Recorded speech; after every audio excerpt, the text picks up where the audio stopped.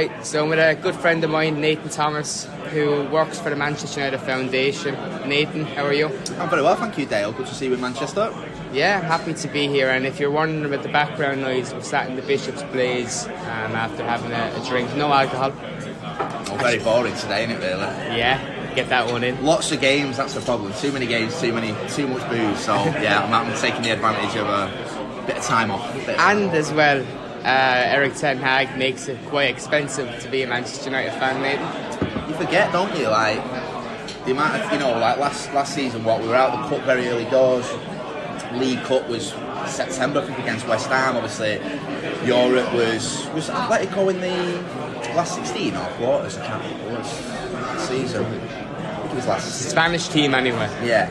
So it was very early, and then yeah. So yeah, this season just seems to be constant, and then. I've, I, like me and my brother who I go to games with, we've uh, we've done quite well with the ways. Although we're now getting a lot of stick from friends because we try and justify ourselves that the games that we've got in the ballot have been some of the tougher games, but obviously some of the tougher games have been absolutely smashed. So Right. trying to think, I got, I got Arsenal, obviously lost Anfield.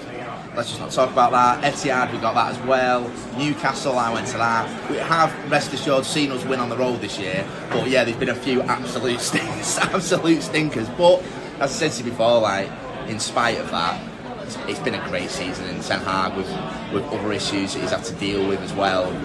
It's been certainly here at Old Trafford. It's been fantastic. It's been some great moments. You had a busy week two weeks ago, Sevilla and Wembley. Yeah.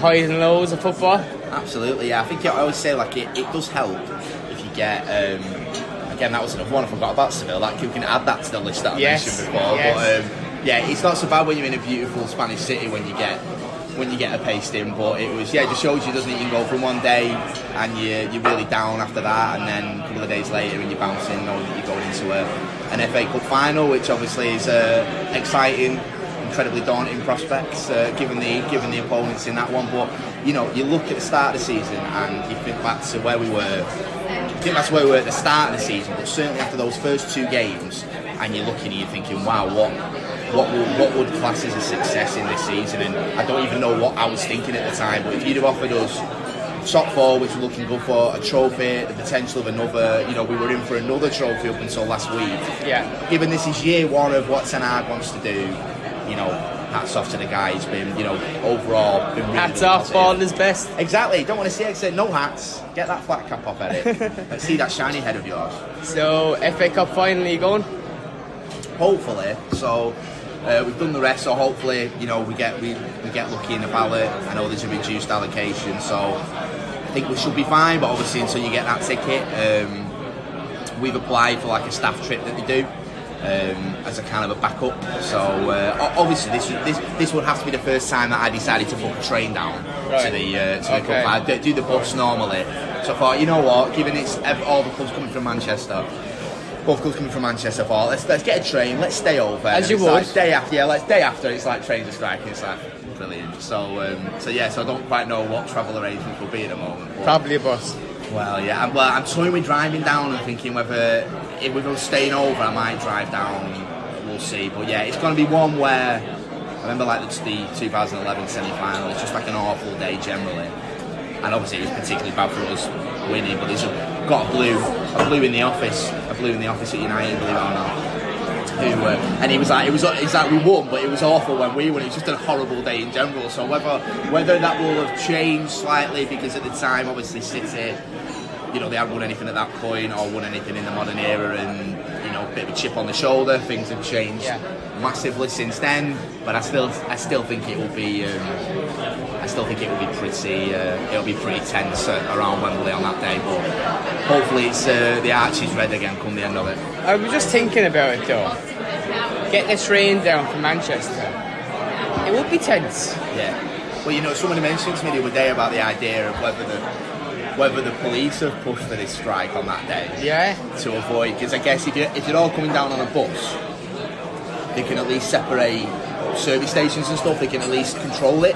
Whereas if you're all on the same train, how much can they control that? Not one for conspiracy conspiracy theory, so I'm not sure I buy it, but I, I see the logic behind it. Tinfoil and all they that. Must, they must have thought exactly. They must have thought when that happened. The police is like worst. But I bet they were praying. I bet GMP and London police were just praying for Brighton in that um, in that penalty shootout and just make it a nice easy day for them. But yeah, look, yeah, I, I always say like it's, it, I don't think there's many Reds that are relishing this prospect of playing City in a final, and I count myself in that. But and I don't, I don't mean that just from I think we can beat them. I definitely think we can beat them, but obviously it's your nearest. I gave rival, I gave that talk before the semi final. You know, I didn't fancy us against Brighton, and I was giving myself some you know some po- some minor positives, thinking, well, we won't beat City, will we? But then in the lead up, I was hearing all this talk about City winning the treble. Yeah, yeah. and I would like no one more than us to be the ones to try and stop them. Because I'd hate to be sat there on the FA Cup final day and not being United or being Brighton Yeah. and thinking, fuck, these guys are on for a treble. Yeah, hundred percent. But with us doing it or trying to do it, if they get to that treble point, um, I'm a little bit more relaxed than it would be with Brighton. I, no, you're totally right. I think I don't quite get that argument that some people have, like, of, oh well, Brighton might have had a better chance of beating him, and you know, us losing some in the final. One thing that's that. one thing that's like annoyed me so much over the past few years, it seems to be every year for the past five seasons, it's been one of Liverpool or City who were on for the quadruple or the treble. Thankfully, it never happened. But what used to annoy me at the time is that we were nowhere, we were in no position to, to stop them doing it, and that pissed me off. You know, Yeah. because, I always used to And think- Liverpool. And Yeah. Liverpool, yeah. I thought against I thought against those teams, we could still beat them. You know, we've been able to beat them over the past few seasons, despite having much inferior teams. And it annoyed me that we're just hoping we're relying on Real Madrid or Chelsea or whoever it is to stop that happening. And obviously, you don't want you don't want it to happen, whatever. But it annoyed me that we weren't there. And I think it's also what you would not hope, but United should now be starting to be in more finals with Manchester City. The reason that United have not been in more finals with Manchester City over the past 10 years is an indictment on United's downturning fortunes. Especially in the last 10, 15 Exactly, years. exactly. So it would have happened more often, but because of United and where we've been, it's not happened. So United, as much as it's not a, it's not a prospect that we'll probably enjoy at the time. It'd be obviously mint if we win, but it, it needs to be happening because we need, that that shows that we're on the right path in terms of competing for trophies again. Which is what Well, if want. we beat them in the FA Cup final, I'll be happy if it never happens again. Yeah, I can totally understand. If we beat them in the cup final, I'd be so over, like, just so happy about it. Uh, yeah, I, I won't be thinking beyond that at that point. Yeah. It, it would just be a fantastic end to a very positive season, wouldn't it? Just a question because I've seen it pop up on social media a lot this morning, general kind of football chat. You're looking at the season Arsenal have had so far and this kind of um, implosion that we're seeing right now. We've had a better season than them, right? I so I'm going to stick up for Arsenal here a little bit. Okay. but but I'm also going to agree with you. I think so, like if if they if they if City do what they, we think they're going to do and win the league, yeah, as far as I'm concerned, unless you win the league, I'm not asked where you are as long as you're in the top four. Yeah. and then beyond that you want a trophy. And that's you know I'm looking at it. If we, if United finish second and won nothing, I'd rather us have finished third or fourth and won something. Absolutely. You know all counts are the same. Now with Arsenal, me sticking up for Arsenal, I, I just feel like they're obviously they're going to be gutted. Of course, yeah, to go so long in it and probably now not win it. But I also feel that you'd have never put them anywhere near it at the start of the season. You might not have even put them in the top four. They're an incredibly young team. It was kind of, it felt like it's been on the cards for a while. And I know people say, okay, you could you could make an argument for them, quote unquote, bottling it, but I just feel the games that they, they drew. The big one for me was Southampton. I thought like Anfield, yeah, again not great, but it can happen there, as we well know. Even West Ham to a point. You know, it's an away game in the Premier League. It just happens was the Spurs. Southampton was a one where it's like, yeah, that you know they, they've they've lost it there and they should be doing better. But they're a really young team and they've and they've gone toe to toe with Man City until April. No, you're right, and I think something we spoke about before we started recording about this season with United and Ten Hag and the job he's done. We're all on a journey, and Arsenal fans would view it very similar with Arteta. You- You're mentioning games that they won this season that they shouldn't have. the Last season they weren't winning. Yeah, yeah. And and being in the challenge with City up until this point, which they could not have even imagined at the start of the campaign. So, as fans, I'm sure they're very happy. But that cup final at, Wem- at Wembley was fantastic. Oh, the Carabao Cup. yeah. We'll have another one with, with the FA Cup, whether we win it or not. It could be another amazing day out. And what Ten Hag has done this season, I, I just think it's remarkable in his first year, considering what we had last year. Oh yeah. Oh, we've no. I, I totally. I, I agree with Ferdinand in the way that it's. You know, I won't. If, you know, if Arsenal finish second, which is probably what's going to happen, I won't swap our season for theirs. I don't care. It could finish third. Yeah. Oh, absolutely. They sort of they go into a bit of a downward spiral now after seemingly let it slip. Yeah, one hundred percent.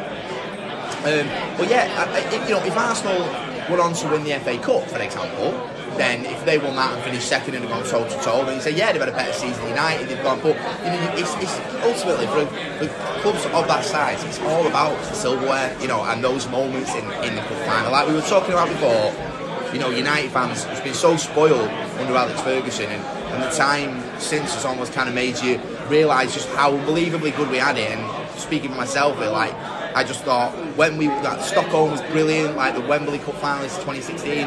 But when these happen, I'm just going to savour them, and I don't care if I get stick for overly celebrating a League Cup final. I do not give a shit. You know what I mean? I'm just going to do it. I'm going to enjoy it because it might be the last one. You never know. So it is all about that. So yeah, I've been like unless United are winning the league, as long as we're in the top four, I don't really care whether a second, third, or fourth. And I guess it goes back to uh, so Ole him not winning the Europa League and how that was kind of the, almost the final nail in the coffin for him. Um, and it's important, you know. So, so Ten Hag came in. I think people would have given this first year without a trophy had had we not won one and got top four. People would have been happy would have been happy with that. But I think to have that kind of off his back now, going into a second season, we can really build. Yeah, definitely. It certainly helps, doesn't it? Because you're right. I think started this podcast by talking about what were what were our expectations at the start of this year, and I think before the first two games, you're thinking maybe slightly optimistically at top four and a trophy. After the first two games, you're still thinking that is the absolute best we can do, but it's probably not going to happen. So for us to then do that, and like you say, he, he could have, he probably would have got a year pass in terms of winning nothing. Certainly, if he gets us in the top four, but then from next season onwards, then then the pressure starts to build a little bit, and the longer it goes on. So just to get that monkey off the back so early, and give it, give the whole club a boost, and it really did give a boost. Like you know, it was like staff trip. I obviously went down with mates, but there was a whole staff trip went down, and, and people are United fans to a to varying or lesser extents, you know. And it's just it's, a, it's just a top top feeling, and it brings the club, and it's like this is what this should be the start of it now. You know, we've not we're nowhere near the top of the mountain, nowhere near, but it's the start. It's a good feeling, and we push on from here, and that's kind of the feeling that we've got, and that's what it just kind of validates things, doesn't it? Like at the start of the season, don't get me wrong, if Ten Hag gets us top four, and that's it. It's a decent enough start, yeah, yeah. given what he took over in the summer. But to get a trophy and then to hopefully get us another one, you know, fantastic. You know, Be up in the clouds in three years' time. Well, I know. Look, look it's been it's been a long enough ten years me to still be incredibly cautious. I, I, I think listeners may well have got the gist that I am very much glass half full, but I'm still, you know, kind of United. You know, I, I mean, at the start of this year, there was lots of United are back talk, which is which has happened quite a few times, and we've very much not been back. We're not back until we're winning Premier Leagues and Champions Leagues. You know, that's Yeah. that's where United need to be. But yeah, there's there's definitely room for some real optimism, and hopefully that continues over the next few weeks and months. Absolutely. So, onto your work at the Yeah. foundation. Tell us what you do.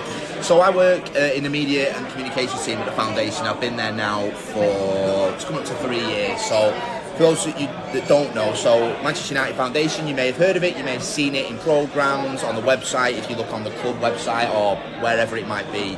But we're a, we're a youth charity that works in and around primarily Greater Manchester. We were set up in 2007, and the idea behind it and it's a romantic ideal, but I think it really works. Is it's a it's a tribute. To mark the 50 years since the the Busby Babes, the title-winning team, to set up a charity that works primarily with young people. Uh, and young people in areas of Greater Manchester with higher levels of deprivation to ensure that those those kids in those areas are given an opportunity to to succeed. And that's not just in sport that is in just in whether it's academic whether it is sport whatever it is that may be. But it's kids that might normally slip through the net for want of a better expression. And the way we work we do it in a number of ways. We have 30 plus, I think it's 33 now partner high schools around Greater Manchester. We also work, we also now work in partnership with Ulster University in Northern Ireland. We have a partner school in Carlisle and one in London. And in each of those schools we have a, a hub officer, so they work for us, but to all intents and purposes they're a member of staff. they're walking around in a Man United tracksuit, and the idea is it's to work with kids on a one-to-one basis and in group sessions to sort of support them along the way with kind of leadership and mentoring, additional work, just to help those that might normally kind of not that get that additional help. Get that support. Exactly. Yeah. So, and then beyond that, we're obviously able to offer them some fantastic enrichment opportunities, whether it's volunteering work at the club. even the work throughout COVID, I spoke to John Shields Yeah. on the on this podcast, and some of the stuff that we did or spoke about with the money raised over COVID was fantastic. Amazing. I think what people probably don't realise, and, and I include myself in that, you know, that how in the first, it, this would have been in 2020, yeah, 2020, Christmas 2020 when I first started. And as part of that activation that you talk about, where we provided like 80,000 meals to schools around Yes, Greater Manchester, we went out over Christmas to dish these out in certain areas. So I went to one of our schools in Wythenshawe, and there were so many people that were queuing for these food parcels, Yeah. and it, and it, you know, and in Wythenshawe, you are you're a stone's throw from places like Wilmslow and Styal in Cheshire, you know, very affluent, very wealthy areas, and yet you've still got people here who are needing additional just to get basic food in the cupboard, you know, and, and it and it highlights that there is a real there's a real disparity between in, in terms of wealth, in terms of opportunity for certain people, depending on where you where you live and where you're brought up, and that's not right. And that is what we we look to kind of channel the ethos of Manchester United, which is investing in young people, investing in the area to just to just support people, basically. Yeah, I think uh, knowing you down the years, someone that I, I, I describe as being very passionate about United, and now I can kind of get a greater insight into to kind of why it's not just based on the football, but your work. And that doing that kind of work and seeing the people you were helping, it must fill you with pride. Oh, 100%. Like yesterday, we had uh, we won a, a BTEC sport course in conjunction with Eccles College. Uh, so this is for kids who may be looking to go into coaching or sport in a in a different way, not necessarily at, an- an elite level. And uh, obviously next week, the club are unveiling statue of Jimmy Murphy in the back of the Stretford yeah. end. So we had Jimmy Murphy Jr., his son, come in uh, to deliver a workshop to these kids to tell them about his dad and the importance of his dad. And a lot of these kids had maybe heard Jimmy Murphy's name, maybe they'd never heard of him at all. But what I said to the kids before Jimmy spoke to them, Jimmy Jr. spoke to them, was that they are there as a, as a kind of an indirect legacy of what Jimmy Murphy and what Man United stands for, which is giving young people an opportunity, whether that's, you know, your Gary Neville's, Ryan Giggs, Paul Scholes of this world, or just normal kid in Manchester who wants to make his way and wants to achieve something.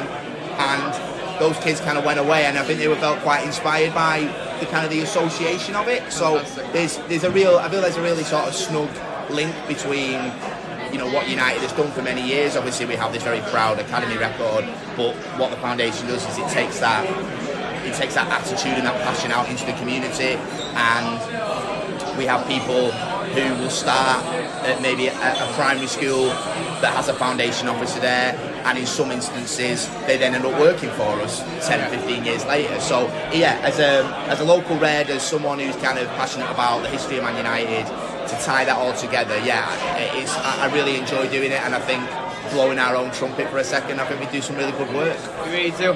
Nathan, pleasure to have you on the podcast.